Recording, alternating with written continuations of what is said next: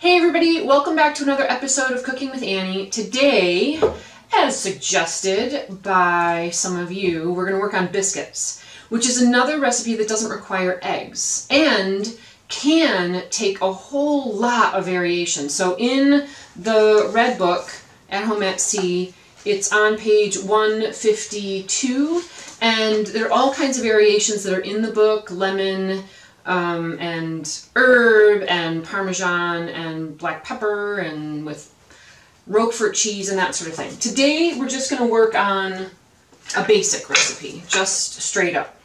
Now, the thing I find about biscuits is that most people have a hard time with the mixing of them, not so much of the measuring of the ingredients. So I've got all the dry ingredients in the sifter, so which is just flour, baking powder, and salt.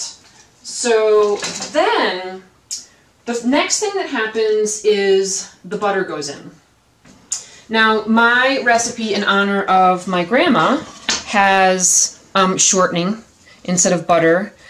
But I don't use shortening very much any longer because it's not, we don't find that it's good for us anymore. Well, it wasn't good for us before, but now we know a little bit more about it.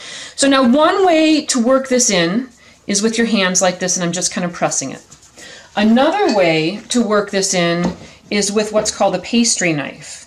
But I find it's a little hard with cold butter to work the butter in. Shortening is easy with the pastry knife, but butter not so much. And then the last method, which I prefer, is where I just um, kind of press it with the heel of my hand and I work it in. In the end, you want this to be the consistency of cornmeal.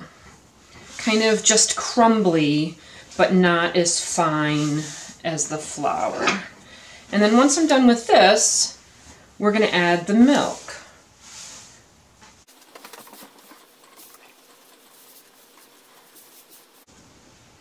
Okay, so that feels pretty good now.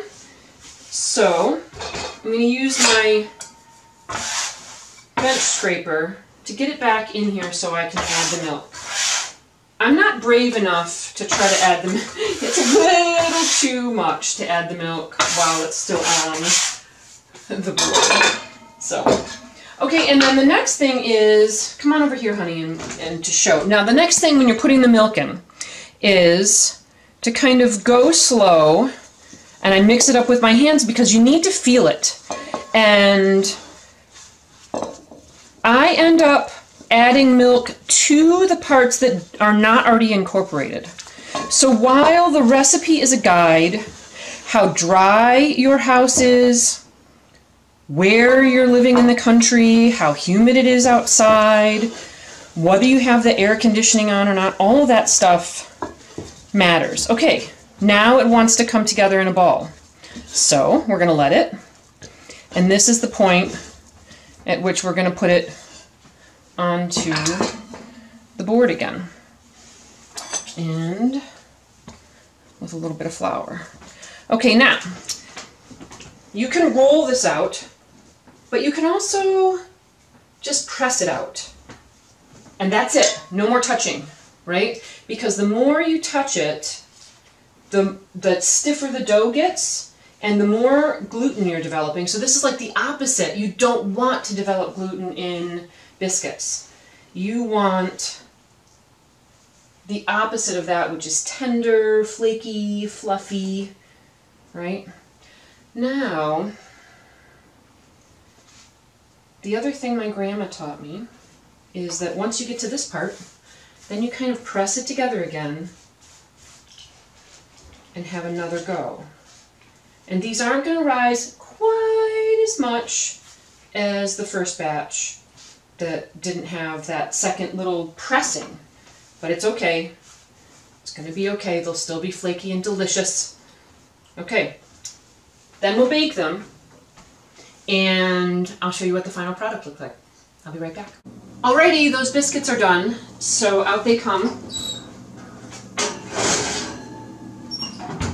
And you can see how high some of them got And then how those ones at the end started to kind of, you know, they're they're kind of craggy and pulling apart a little bit. But um, this is perfect. What you're seeing here and here where they just poofed right up. And then who does not want that with some fresh butter or some delicious strawberry jam? Chloe and I are going to have a snack now. We'll see you guys later. Um, and until next time, uh, click like and subscribe and all those things that you're supposed to do. And and truly, it's wonderful to connect with you. Keep the suggestions coming. This biscuit recipe was a total suggestion from you guys, so that's fun.